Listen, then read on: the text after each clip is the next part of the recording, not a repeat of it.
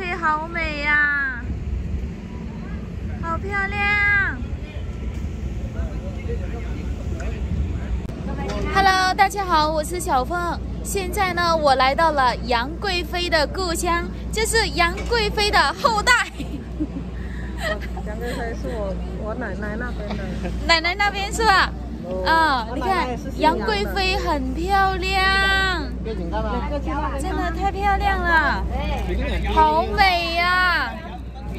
我是第一次来到杨贵妃这里。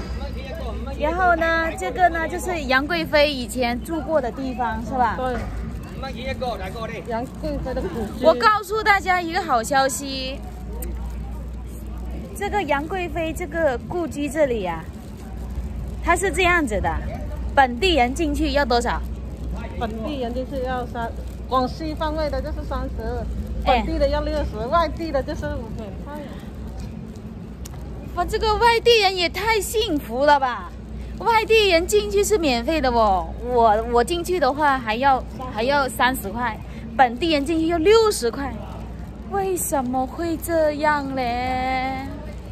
啊，太不公平了，太不公平了！可能是外地人过来的话，可能这个路费可能比较，对，比较要路费一点。在这里嘛，在这里拍一个照。照个相，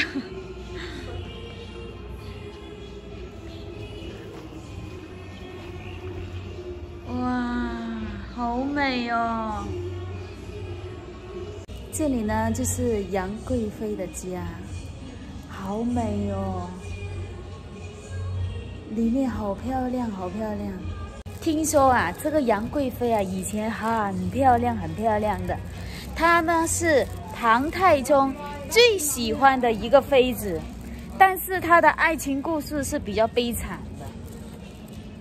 好美哦，里面看到了吗？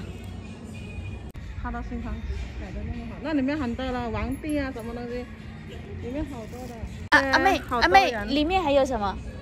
我都忘记了，反正里面还有很多很多。有很多那个像是吧？有那个呃那个韦小宝也有啊。啊，对。还有唐太宗。嗯。还有那个杨贵妃，对，还有一些呃太监，嗯嗯，丫鬟，嗯，还有很多一些宫女，对，在里面。我们因为今天来的比较匆忙，所以说我们只在外面看一看，因为等一下我们还有其他事情去做。然后今天只是一个偶然的机会，刚好开车路过这里，然后我们就过来看一看了。来到这边了，是不是？咱们这里的也不不遗憾噻，是啊，认识到杨贵妃的家。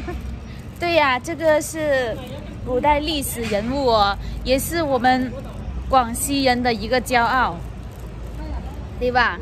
所以说啊，广西啊出美女。参观了杨贵妃的这个故乡，这个房子啊，她居住的房子之后，我发现真的那个房子真的是太漂亮了，好漂亮，好漂亮！没有来过这里玩的朋友，一定要过来玩一下。真的，里面太漂亮了，就像皇宫一样，非常非常的漂亮。